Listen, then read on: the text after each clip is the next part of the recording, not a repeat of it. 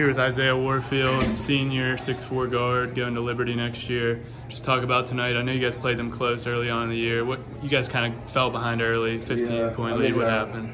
We just talked about. it. I mean, coming out the first half, they seemed like they were making everything they shot.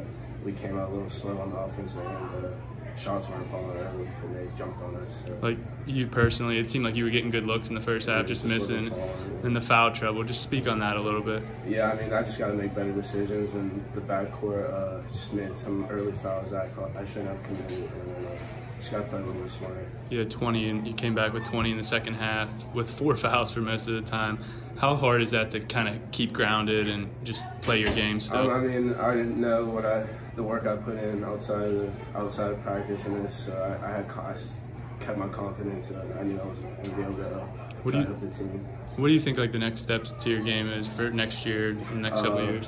To get, I mean, to get ready for college, I know I definitely got to get stronger and uh, work on get my jumper more consistent. And, I mean, mostly just get, I just want to get real strong, put some weight on. Can, can you just talk a little bit about the decision to go to Liberty? Uh, yeah, uh, I mean, I took a couple visits. Uh, I visited a couple bigger schools. Uh, Butler was my first.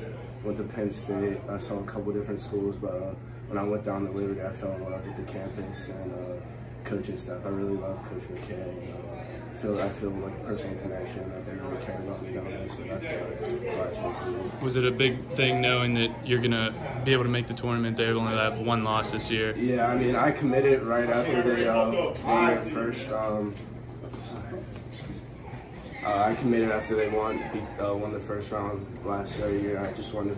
I saw that how they played together and how Coach McKay coached, and knowing that they're gonna uh, will be able to make the tournament every year on that, it just uh, definitely helped with the decision. For the rest of this year, I know you guys are kind of struggling to make the playoffs right now. I think you got to win out to make it, maybe.